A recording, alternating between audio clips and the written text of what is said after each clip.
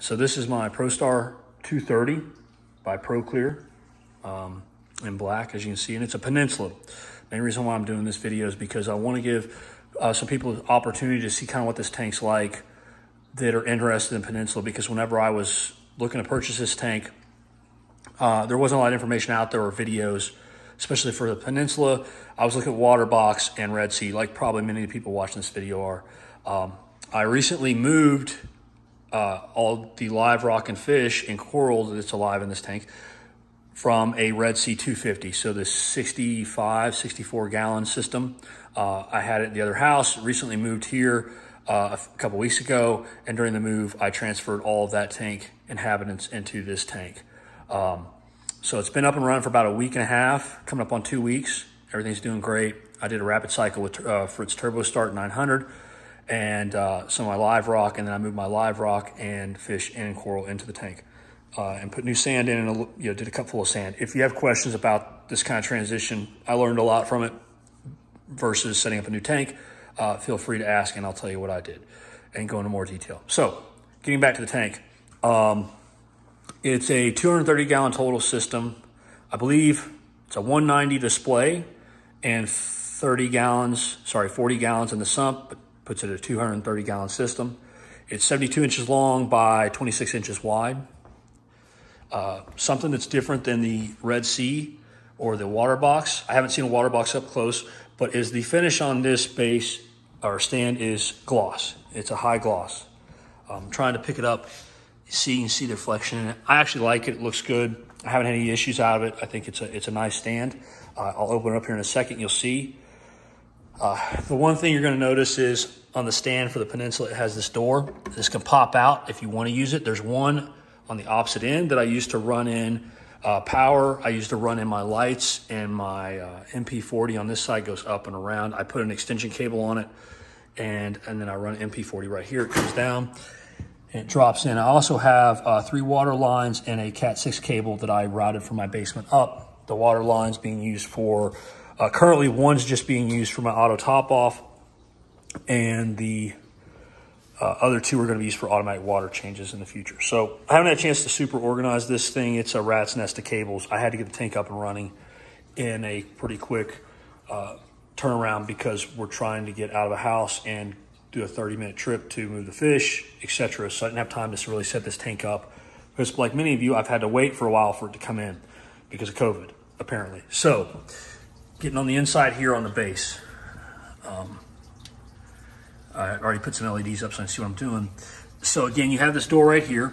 This wall, this back wall, and the far right one are three quarter inch plywood and it has a metal frame that runs around internally, as you can see, through parts of it. It's not a completely metal frame where you would have a vertical bar going down, but as you can see, it has metal frame pieces, which is different than what my Red Sea is. Um, the other thing you'll notice down here, if you look at some pictures you might pick up on it, is there is a finished port with a bulkhead, or not bulkhead, but a gusset around here that you could run piping and water or electric up through the floor if you wanted to.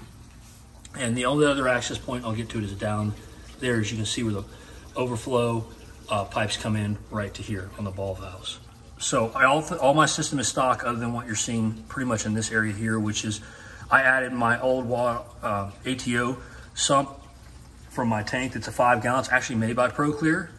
Um, I used it because the one that comes with it is only a three gallon, from my understanding. And I run a Tunze auto top off system, which I really like. I've had it for years. and as you see, I have my dosers, which are Kamoer, uh, three different dosers. And then I have a GHL ProfiLux 4 that I've had on my other tank for about a year. I love it. Does a great job and then I run a bunch of Ecotech because I like their pumps and I like their lights. Uh, and then I have a Maxspect controller for my uh, protein skimmer, which eventually I'm going to reorganize this and probably build a shelf, set up my dosing pumps, etc., and really clean all this wire up. It's it's nuts and it sucks, but it is what it is for right now. So, moving down, you have three doors. You have the door for, I guess you'd say, your electronics and whatever else you're going to add to the tank system the middle door, which are suicide doors with a post in the middle.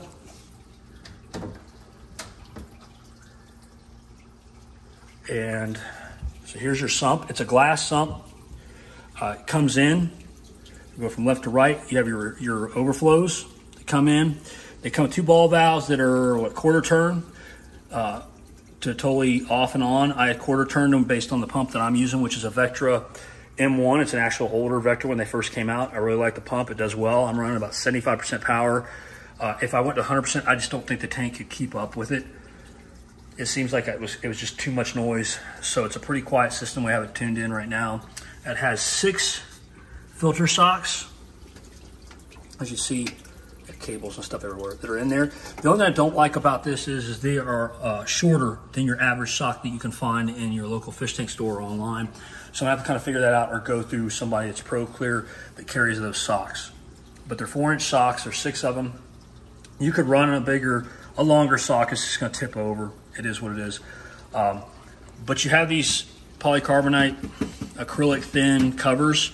There's actually another set right here that go around the um, skimmer. Right now I have them up, as you can tell, because my lines, I need to get new one for my doser. They're too short and they run through here. And my ATO line is still short from my old system. I need to buy a new one of these this weekend uh, to move it further down to my return.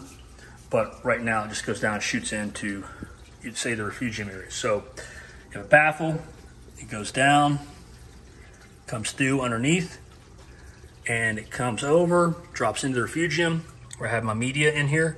And then it actually has a plastic grading system under there to where the water flows through that. Thought that was pretty nice and then goes into your return area. Um, I have my Tunze set up in here in the return pump area. And it gives you a little line for lowest water level, highest water level. And that's what I try to keep it at while the system's running. I don't want to go above this uh, line right here because you have potential of overflowing the sump if the pump's shut off.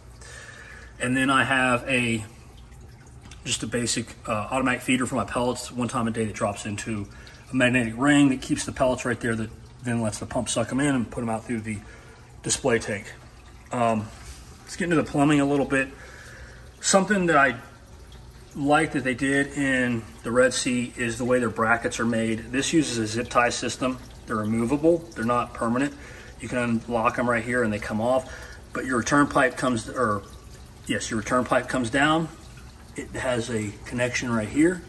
And then same thing with your overflows. They're a little bit bigger. I think they're three quarter inch or actually one inch pipe. Go down and just drop down inside. You can look in there, you see a little bit of micro bubbles. Um, and again, it's held up right here. And then they've got another link in the back. You could probably run these cables. I hadn't had a chance to organize again, so it's a mess. As you see, I have my uh, probes, all their cables are hanging out. I've got to reroute all this stuff eventually and clean it up and get an idea how I want to do it to make it neater. Um, the one good thing that I noticed about this tank moving it is on my Red Sea, my bulkheads stick down. I have to be real careful moving it because I don't want to crack the area around the bulkheads. This, they set high enough up, plus the edge of the tank, it actually has a rimmed bottom that I didn't really notice until I saw somebody else's video, but it, it has a stand and then the bottom actually has a rim, unlike the Red Seas, it's just a solid piece of glass. Uh, some people like it, some people don't. What I do like about it is if you have some saltwater splash over, fish make uh, a splash or you drip because you're reaching there to do something, instead of running all the way down the face of your tank and leaving black, or sorry, salt stains that you constantly have to clean up, it instead most of the time will catch right along here. Now you have to clean that out with a paper towel or whatever you want to do, but it does catch a little bit. It kind of stops some of that mess from occurring so much down the face, especially if a black stand. Anyone's had one. The downside of the black stand is it so shows the salt uh, stains, the dried salt, if anything runs down the front of it. Um, I personally like the black tank. I think it's great, but some people love the white for that reason.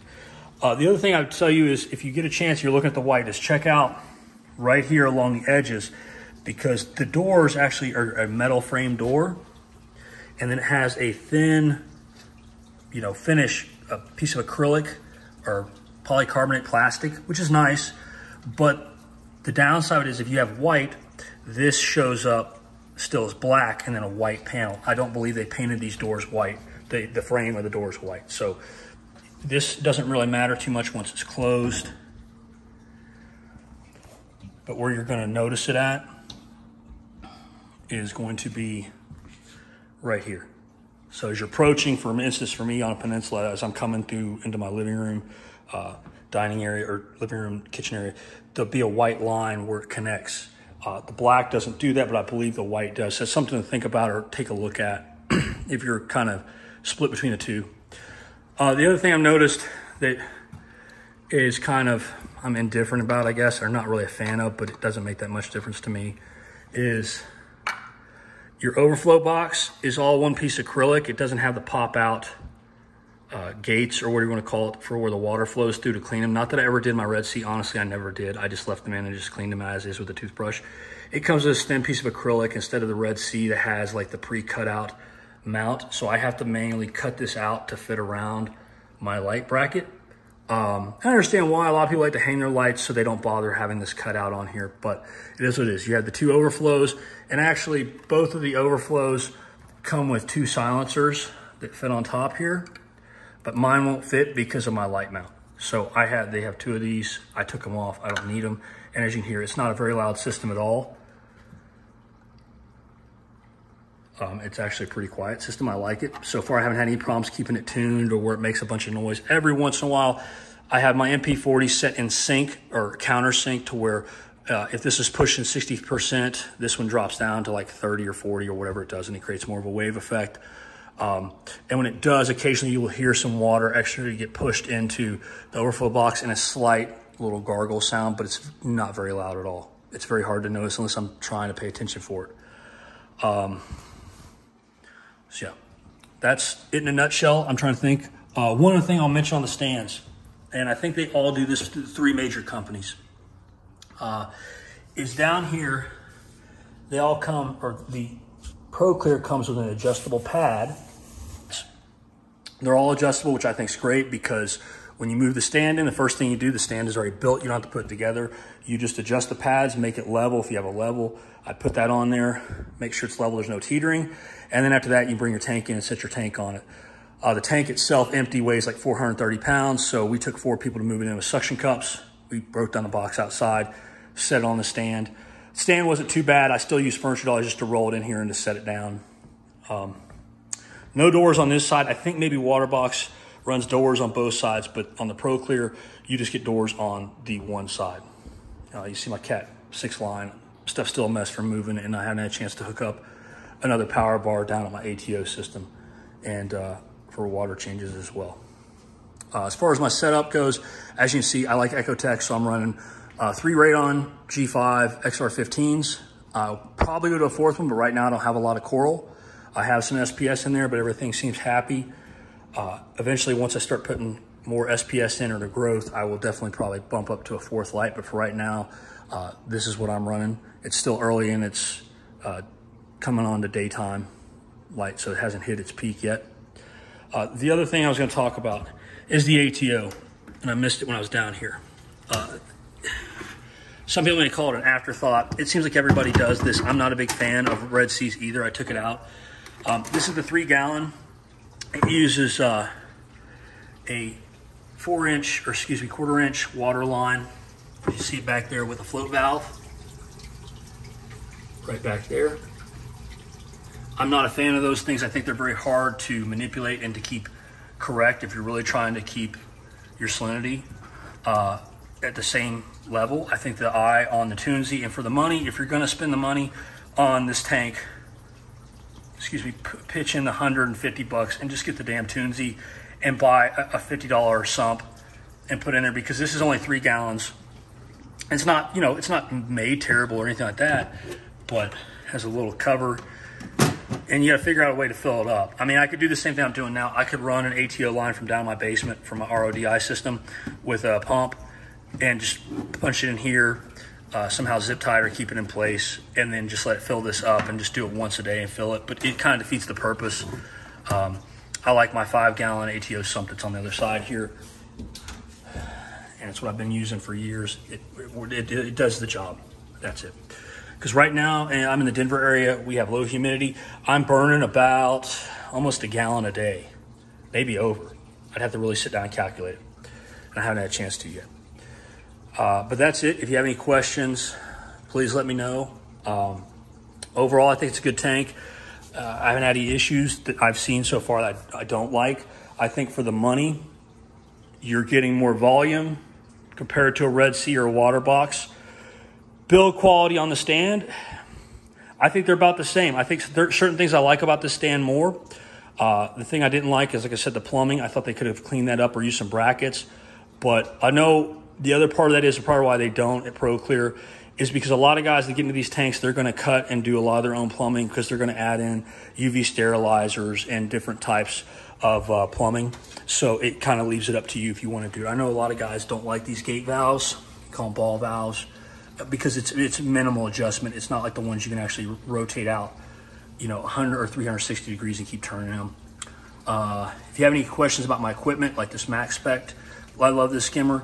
Out of the box, threw it in there, kicked it on, and it's been kicking ass since. I didn't really have to do much to tune it or do anything. I didn't have to sit there and clean it and run it through vinegar and water and all that stuff. Uh, but that's it. Uh, this side here, you can also plug that. I took the actual plug out that's in here.